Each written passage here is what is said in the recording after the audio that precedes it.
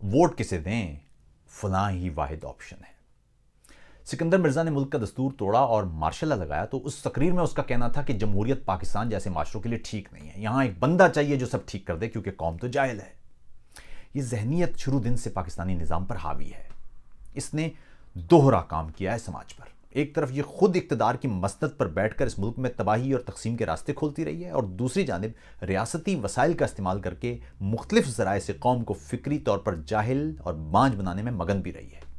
यहाँ लोग पढ़ लिख भी जाएँ तो उन्हें जमहूरियत से मुराद एक शख्स नज़र आता है अब, जो जनरल साहब या किसी आमिर की तरह सब ठीक कर देगा।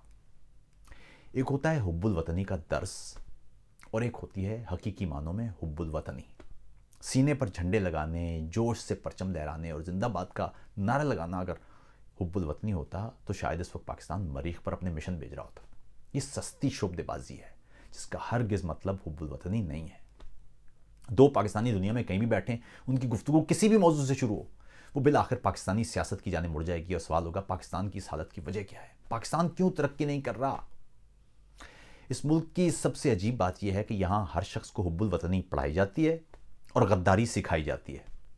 यहाँ मुनाफिकत इस सतह पर मिलेगी कि बैक वक्त कोई शख्स कहता कुछ और करता कुछ और मिलेगा और उस पर उसे ज़रा भी निदामत या शर्मिंदगी भी नहीं होगी। मिर्चों में ईंटें मिलाने वाला पूरे इतमान के साथ पाकिस्तान में करप्शन पर अपने गम गुस्से का इजहार भी करेगा। खुराक में जहर डालने वाला मिलावट के सेहत पर मुजर नुकसान से आगाही देता हुआ भी मिलेगा। खुद कचरा गाड़ी से बाहर फेंकने वाला हर तरफ़ कचरे की शिकायत करता हुआ नज़र आएगा। कुछ यही हाल सियासत का भी है। हमारा मसला ये है कि यहाँ चूँकि हमें सिखाया ही गया है कि एक फरिश्ता आसमान से उतर कर सब कुछ ठीक कर देगा, जनरल साहब या कोई आमिर आएगा और ये सब कुछ अच्छा हो जाएगा चार पाँच हज़ार लोगों को सरेआम लटकाया जाएगा तो सब कुछ अच्छा हो जाएगा, सारे सियासतदान गर्क हो जाएँगे तो सब कुछ अच्छा हो जाएगा, जज तबाह हो जाएँगे तो सब कुछ अच्छा हो जाएगा, हमारा लीडर आएगा तो नब्बे दिन में सब बेहतरीन हो जाएगा, सारी करप्शन खत्म हो जाएगी, लीडर के आते ही हर चीज़ ज़बरदस्त हो जाएगी, पचास लाख घर भी बन जाएँगे, दो करोड़ नौकरियाँ भी आ जाएँगी मोटरवेज का जाल भी बिछाएगा स्कूल में मैारी तालीम भी दी जाने लगेगी अमन अमान भी हो जाएगा और मुल्क एकदम सुपर पावर बन जाएगा, ये सब सरासर सियासी जुमले हैं।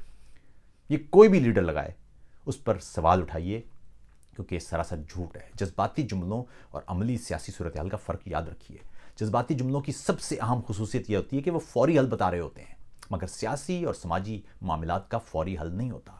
ये तवील मुद्दती होते हैं। सियासतदान और रानुमा में भी यही फ़र्क है। सियासतदान आपके मसाइल का फौरी हल बताकर आपसे वोट ईंटेगा, आपकी हमदर्दियाँ समेटेगा। उसको आपके मसाइल से हकीकी मानों में कोई सरोकार नहीं होगा। फलां रानुमा आएगी, स्विट्जरलैंड से करप्शन का सारा पैसा वापस लाएगी 200 अरब डॉलर आएगा 100 अरब डॉलर हम एम आई एम एफ़ के मुँह पर मारेगी 100 अरब डॉलर हम आवाम के मुँह पर मारेगी। हकीकत यह है कि फलां आएगी तो उल्टा अड़सठ अरब डॉलर का कर्जा 130 अरब डॉलर कर जाएगी। या फलां आएगी तो हर तरफ़ बाहर आ जाएगी, कर्ज उतारो, मुल्क सवार हो जाएगा, सब अच्छा हो जाएगा, मुल्क तरक्की कर जाएगा। दूसरा सियासतदान और रहनुमा में फ़र्क यह है कि सियासतदान कौम में मौजूद तकसीम को वसत देकर उसका फ़ायदा उठाता है, जबकि रहनुमा कौम में तकसीम ख़त्म करके लोगों को आपस में जोड़ता है।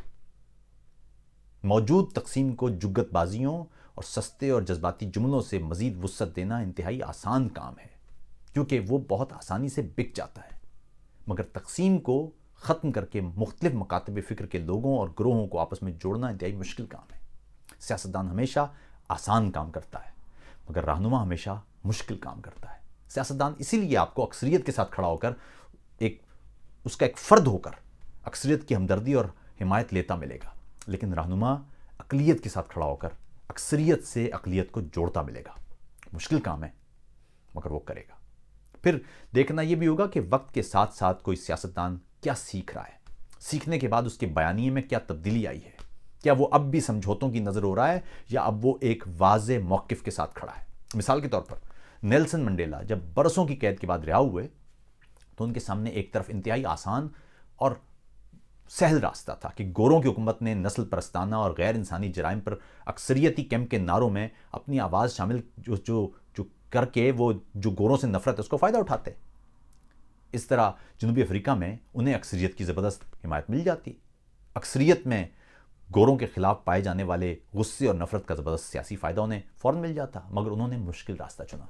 उन्होंने जनूबी अफ्रीका के तमाम शहरीों को जनूबी अफ्रीकी शहरी बनाने की राह अपनाई। सबको, गोरों को भी, जालिम को भी। सियासतदान का रास्ता चुनना तो बहुत आसान होता। इस रास्ते से जनूबी अफ्रीका आज वहाँ हरगिज़ नहीं होता जहाँ वो है, बल्कि इस वक्त वो एक जंग ज़दा और तकसीम शुदा रियासत होता। सियासत में भी किसी रहनुमा के पीछे चलते हुए हमेशा ये सोचें कि कहीं वो रहनुमा अक्सरियती ग्रोह के साथ तो नहीं खड़ा। कहीं अक्सरियती जज्बात का सियासी फ़ायदा उठा उठाकर कौम में मौजूद तकसीम को अपना वोट बैंक तो नहीं समझ रहा। पाकिस्तान में बड़ी तादाद नौजवानों की है। जिनके साथ किताब या पेचीदा सियासी मसाइल पर मुतनव मालूम की बजाय सोशल मीडिया की पोस्टों से हासिल करदा मालूम है। और मालूम क्या है चंद जुमले हैं, जिन्हें न सिर्फ़ ये नौजवान दुरुस्त समझते हैं, बल्कि उन्हें किसी दलील में इस्तेमाल करते हुए लफ्ज़ भी तब्दील नहीं करते। वही गिनती के लफ्ज़ हैं। सियासी शूर जज्बाती जमलेबाजी का नाम नहीं होता। मामलात पर मुख्तलिफ़ और मुतनवो हती के मुतजाद नुकात को सुनने और सवाल उठाने का नाम होता है। ना जनरल साहब के आने से कुछ ठीक होगा, ना फला रहनुमा सब ठीक कर देगा। सवाल होना चाहिए लाएमल क्या है किसके पास? जब कोई कहे कि मैं करप्शन को ख़त्म कर दूँगा तो ये सियासी जुमला है। जब कोई कहे कि करप्शन की वजूहत और महरक़ात फ़लाँ हैं, उनके महरक़ात के ख़ात्मे के लिए फ़लाँ तरीका इख्तियार किया जाएगा, ये है दुरुस्त रास्ता। जब कोई कहे कि पार्लिमान में सब लोटे हैं, मैं पार्लिमान ख़त्म करके सदारती निज़ाम नाफिज कर दूँगा, सारे इख्तियार एक बंदे के पास होंगे और सब ठीक हो जाएगा तो ये सस्ती जुमलेबाजी है। रहनुमाई ये है कि पार्लिमान को मज़बूत बनाया जाएगा। यहाँ लोटा करेसी के खात्मे के लिए निज़ाम कैसे वजह होगा? यहाँ इख्तियार किसी एक फ़र्द में समेटने की बजाय फ़र्द और फ़र्द पर फ़र्द और महकमे पर महकमे या इदारे पर इदारे का चेक एंड बैलेंस का निज़ाम कैसे वजह होगा? अवामियत पसंदी की लहर खौफनाक है। यह आपको मुश्किल समाजी मामला के इंतहाई आसान, फौरी हल बताती है। सोशल मीडिया के दौर में ये हल सबको पसंद भी आते हैं और आप उसे दुरुस्त भी समझ लेते हैं। उसके पीछे चल भी पड़ते हैं। मगर मसला यह है कि समाजी मसाइल का कोई आसान हल नहीं होता।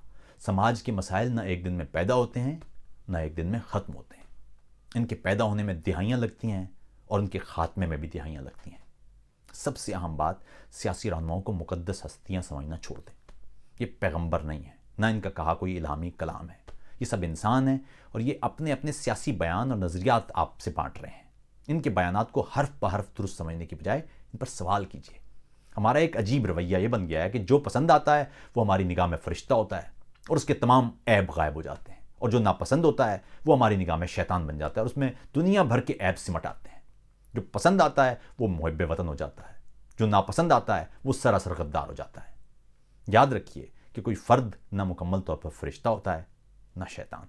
फरिश्ते और शैतान के बीच में रहना सीखिए, क्योंकि हम सब यहीं होते हैं। आसान जुमलों और सादा हल की बजाय इख्तलाफ के लिए जगह बनाएँ, ताकि मुख्तलिफ़ राय और मुख्तलिफ़ मौक़ आपके सामने हों। फिर यह भी याद रखिए कि कोई भी मौक़ कोई हल, कोई भी सौ फ़ीसद दुरुस्त या सौ फ़ीसद गलत नहीं होता। हर दुरुस्त में गलती का एहतमाल है और हर गलत में कहीं ना कहीं दुरुस्ती मौजूद है। किसी सियासतदान की हिमायत करते हुए या किसी सियासी जमात को वोट देते हुए यही दिमाग में रखिए, गलती का एहतमाल कुछ कम हो जाएगा। सियासत को सियासत रहने दें, ना ये पैगंबरी है, ना ये निजासत, ये राय है। याद रखिए, गाली और नफ़रत राय नहीं होती। इसलिए गाली और नफ़रत को सियासत या सियासत को गाली और नफ़रत मत बनाएँ।